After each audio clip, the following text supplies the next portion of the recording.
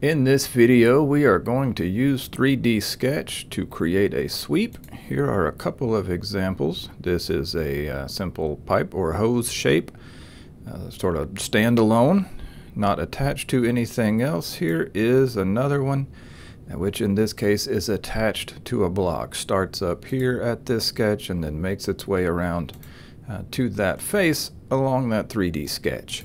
Uh, before we dive into that, though, let's back up just a little bit. Uh, let's look at sort of the progression from the simplest part that we might have. This is just an extrusion. It is a single sketch, a one inch circle with an offset of 125 so that we have a, uh, a wall for this pipe. And then it is extruded 8 inches in a single direction. If we need to add some bends to that part, that is where sweep comes in. My first sketch is again the one inch circle with an eighth inch wall thickness.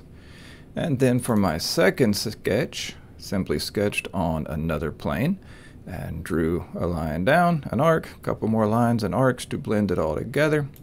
And that is the path for this sweep to follow. Uh, but when we get into 3D Sketch, now we have the option to go in multiple directions through space, again starting with a uh, 2D sketch here, an outside diameter and a wall thickness, and then a 3D sketch that is the path uh, that that shape follows as we create our sweep. Uh, so let's start a new part and look at how we go about creating this 3D uh, sweep. Just a standard part working in inches. We will start with a 2D sketch. Let's use the XY plane. We'll draw a circle, make it one inch. Draw another circle inside it and put a dimension between them.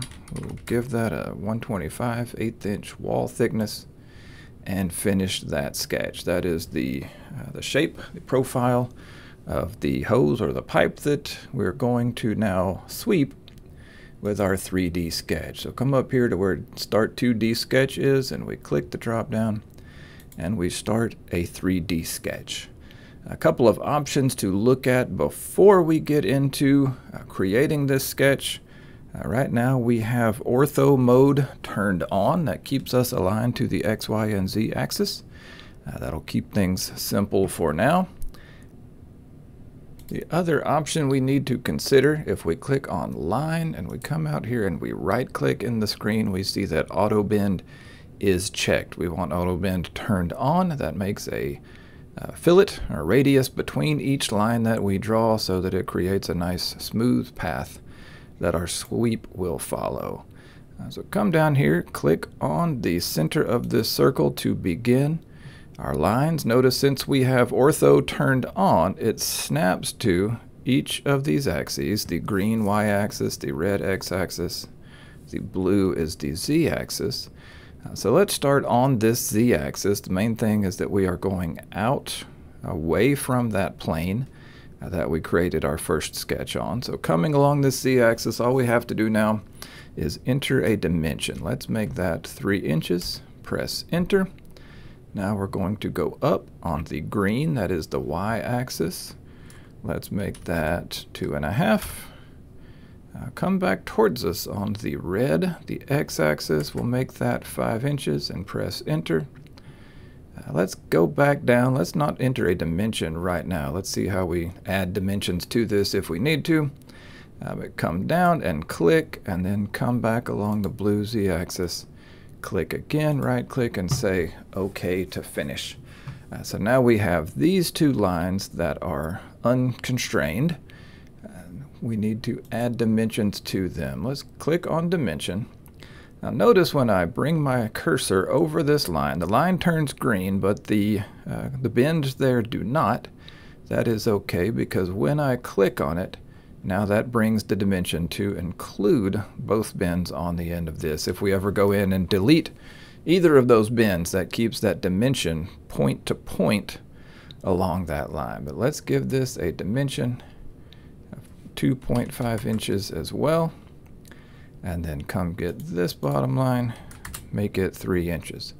Uh, what we can do here, if we want this thing to be sure that we always have the same length on these two legs. Click that 3 inch dimension, go over here and click that first 3 inch dimension. See that D2 shows up because that is our original dimension D2. That FX 3 inches says that is now tied to there.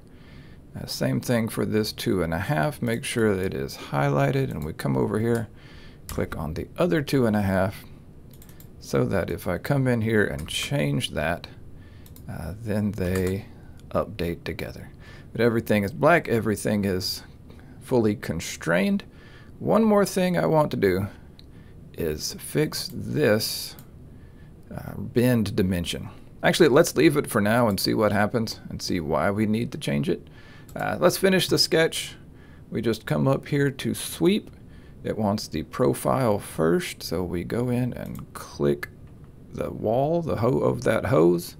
Select curve or edge now that we are to follow. Just click anywhere on that path and it selects it. Say OK. Uh, now we see where these inside uh, insides of the bends are a little bit too tight which is why I need to go back to my uh, 3D sketch, edit that 3D sketch, and let's make that dimension 0.75, 3 quarter inch.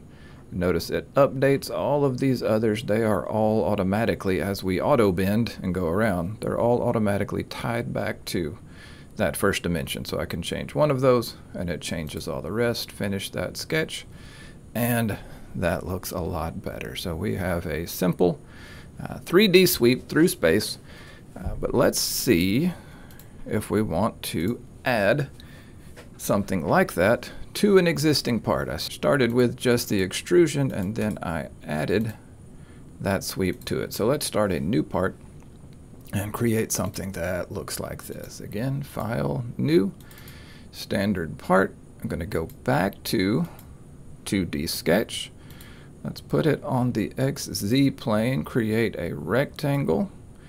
Let's make the rectangle 4 inches wide by 2 inches tall. There is my rectangle. Say OK, finish that sketch. And let's extrude this thing up 3 inches. Now start on the front face, get the mouse over it to get that face highlighted. I can right click on it and say new sketch or we can come up here to the new sketch button.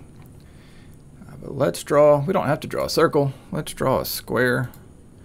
Let's make this 0.5 by 0.5. Just hit tab to move between the dimensions there. And now let's dimension the center of this square. We'll just stick with half inch. A half inch off the top and the side and finish and that is the profile that we are going to sweep. Now let's go to 3D sketch, create a line, double check, auto bend is turned on, ortho mode down here is turned on. So we are ready to start drawing. Let's click in the center of that square, come out along that blue Z axis, one inch, come along the red x-axis. Let's leave the dimension off of that for right now. We're just coming out past the end of the block. Just rotate to the right side so we can see that we're still within the face of this block. Come down so that we don't go off the bottom. Go back to the front view and this time let's just leave that last endpoint uh, floating off the end of the block a little bit. And say OK to finish that. And now we are ready to um, add some dimensions and some constraints to get the rest of this exactly where we want it. Uh, the first thing let's do is go up here to a coincident constraint. A coincident constraint will take that point and stick it to that face. Now let's start working the rest of this uh, the rest of this path relative to the end of the block. Uh, let's first work on the length of this line. Now I can dimension this line directly, but what I want to do is know that this endpoint of that line, though it's sort of out in space off of that arc, let's move this dimension a little bit. There we go. Move to the other side so I can see that point out in space a little better, I want to dimension that point off of this face. Let's give it a dimension of one inch. Now let's work along our path. Things tend to work best if we work along the path, go point to point. Uh, so now we can dimension this endpoint. Click that point, click that face. So now I have a dimension there. Let's make it half inch. When I put in a half inch dimension there, it kicked this line outside the block because what it really needs to be is negative 0.5. That gets us back inside. That may be one of the few times in Inventor you ever actually use a negative dimension. Uh, but in this case, it is a directional dimension off of this face. Uh, let's give a dimension here to that point off of the bottom face. And notice this time it is a positive number and puts us a half inch up from the bottom. Now we have a complete path. Everything has turned black. That point is constrained to that face. I can finish my 3D sketch. Let's spin back around here and look.